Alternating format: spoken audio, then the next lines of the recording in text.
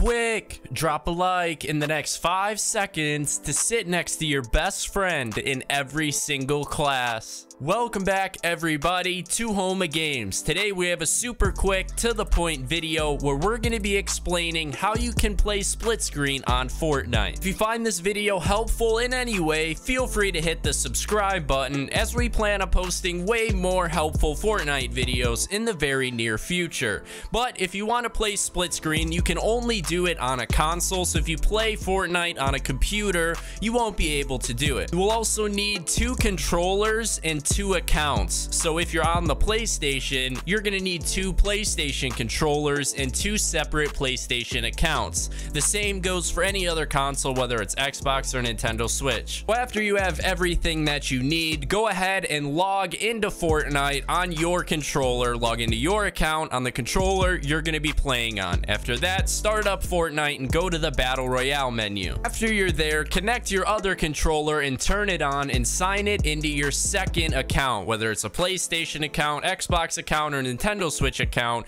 Just log in to your second PlayStation account with the second controller. Then after that, if you did it correctly, in the bottom right of the screen, you will see a button that says hold X to connect player 2. All you got to do is simply hold X or whatever that button is on whatever console you're doing this on, and your second controller will be connected, and boom, you're ready to go and start playing split screen. Super quick video. I hope this cleared up any confusion you guys may have had about split screen. Once again, if you found this video useful, feel free to drop a like and subscribe. Thanks again for watching and have fun playing split screen.